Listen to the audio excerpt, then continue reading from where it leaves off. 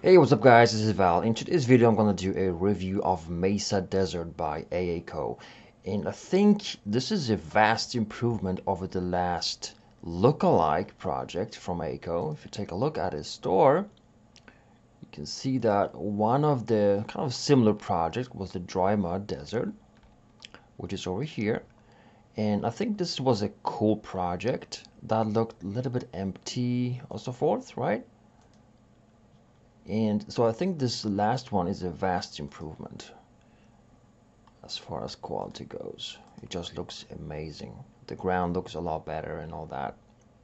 So I think just comparing these two and looking at the images, this was a straight buy for me, guys. I just think this looks amazing. It looks incredibly amazing, just beautiful how the lighting falls, the skies, and there's two HDR maps included plus options for the sand or the the area here in the center. I mean if you are into you know Mad Max style renders or sci-fi renders in the desert this is just a must-have right? Let me just quickly show you how this performs inside the studio. I think this is one of the must-have packages at DAZ right now. It's just so incredibly well done Perfect. So it also comes with these icons that you can simply quickly rotate the dome. And here's just the clay renders. All right, so let's get into the studio. And over here in the studio, you can find in my DAZ library, environments, landscape, AACO, Mesa Desert. And it has this preload option first. Let's click on that. Then it has two different settings here, which is the render settings afternoon HDR and render settings sunset HDR. This is basically the the uh, the light options. Let me just back off the camera a little bit. So I'm gonna also make sure my camera doesn't have any headlamp on. I don't want to have that. And here's the preview. And now we're gonna click on, let's say, the sun midday option. And if when I look at the environment tab here in the render settings, you can see this is an HDR map that's included for this particular set. All right, and it has all these options already pre pre-made here, so they are presets. And man, it looks good straight off the bat. Look at the ground, man. I just, you know, love desert, you know, scenes. When following the Game of Thrones right now, the, the desert scene was, you know, my, one of my favorite, right? Okay, so when you get really close to the ground, it shows a little bit of low res tendencies. Um, just the nature of this. So that's a small drawback that, you know, maybe there could be some more high res option right in the middle but at a certain distance it just looks amazing. Alright so we got these dome options. Alright so dome rotation value 0 let's click on that. That basically alters the dome rotation and this one over here and with that changes how the sun falls which direction it comes from.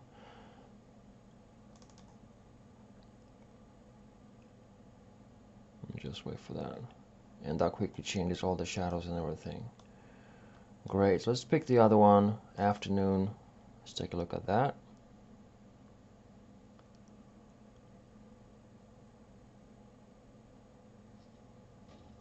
Let's wait for it to update. I'm gonna pause the video while it's updating. Oh there we go. So this is more more like a midday almost setting. That was the sunset is kind of like a midday almost. More light still great shadows in the background here. The mountain range. There is distant haze and all that included which is awesome. I just love how this looks especially in the distant. Really good. Alright so there is also iron materials here and basically this one here is the default ground with the you know pebbles and sand right in the middle let's check out that. All right. Then we have sand, sand only.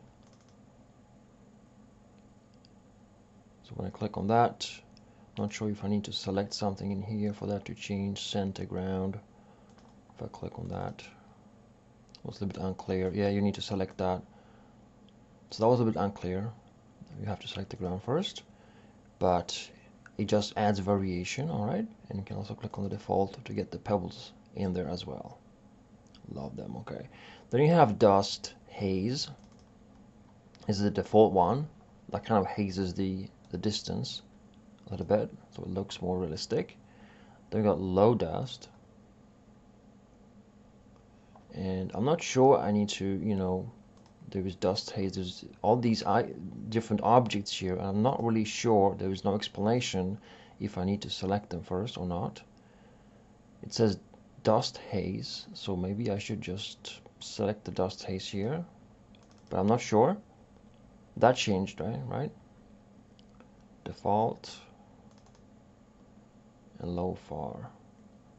So there is dust haze and far haze. These are different objects. So far haze is a different object.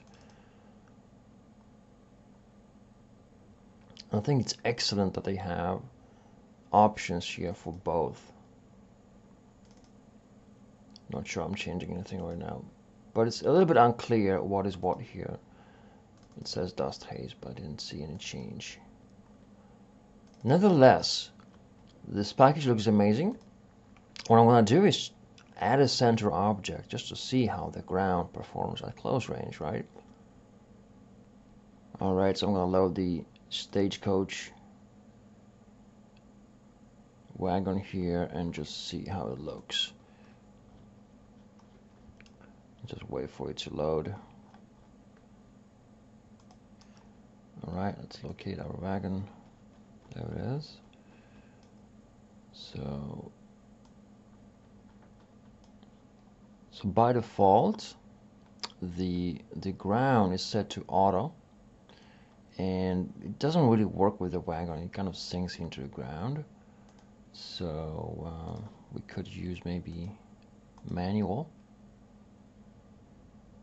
All right, manual ground position, and either raise the ground or we can just you know raise the wagon, right? but um, it's kind of funny that it doesn't really stay on the ground but we can adjust it down.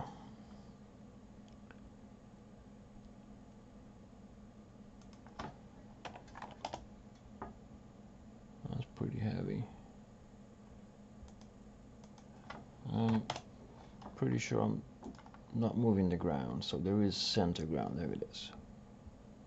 Sorry about that moving down.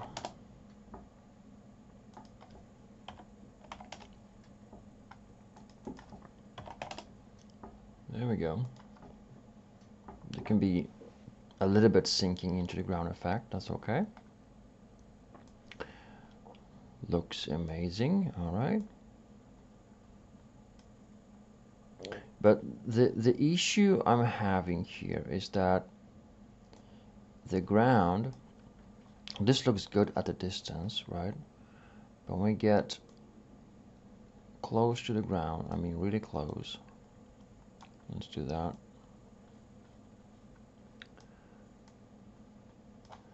Then uh, let me just rotate so I can see what's going on. Here we go. Awesome. So that survives very nicely, you know, resolution wise. So my initial, there is a little bit of low res thing happening when you're really, really close to the ground, but we are talking ant level, all right? But just for, you know, renders like this, it looks freaking amazing. There is no low resolution feeling at all here and just survives being that close to the ground without looking low res, which is which is amazing for this type of environment. Let's go back a little bit. Let's get low on the ground. Yeah, so here when we get away from the center it kind of feels like the you know the ground starts to decay its quality. So it's mainly you know close here in the middle when we really have the quality engaged okay? So it decays over distance this quality. But it's okay. It's a center piece that holds quality and works good enough and it looks amazing. So guys for me this is a must-have uh, if you haven't gotten this already just go and grab it. It's I, I can't describe it with words.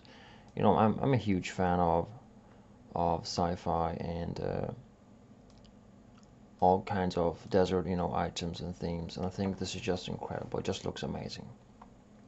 So guys that was it for this video um, please comment below if you like this video and share with your friends. And also if you want to check this out at DAZ follow the link below this video. Thanks so much for watching guys. Keep on tweaking and I'll see you soon again